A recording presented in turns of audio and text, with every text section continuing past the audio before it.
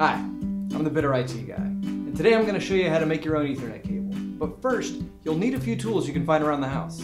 Wire cutters, crimping tool, cable stripper, boots. Always make sure to put these on first before starting. Cat 6 connector heads, Ethernet tester, and of course, your Ethernet cable.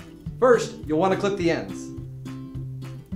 Next, you'll use your stripper to remove the jacket. Pull that off, and uh, then, damn it. Uh, if, you, if you cut the wire, uh, you're gonna have to start all over again.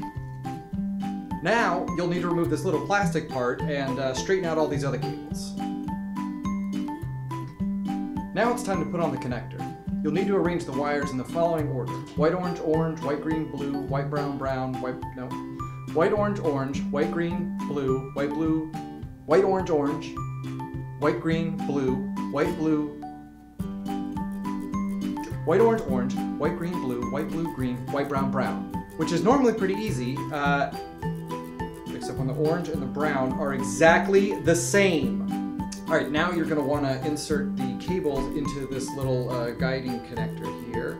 So uh, you'll slide it, damn it! Then you're gonna take your cables, you're gonna take the connector head, and you're just gonna slide it right in there. Then you're just gonna uh, clamp it down. Now the other side.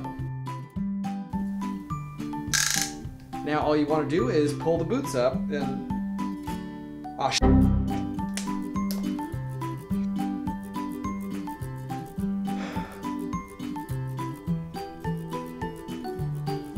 Okay, now that you have everything uh, properly terminated, you have your boots in place, you just want to grab your tester and uh, you just want to make sure that everything is. Oh. Hi, The Bitter IT guy, and today I'm going to show you how to get an Ethernet cable and save yourself a huge headache. Go onto Google, type in Ethernet cable, and buy the first one that shows up.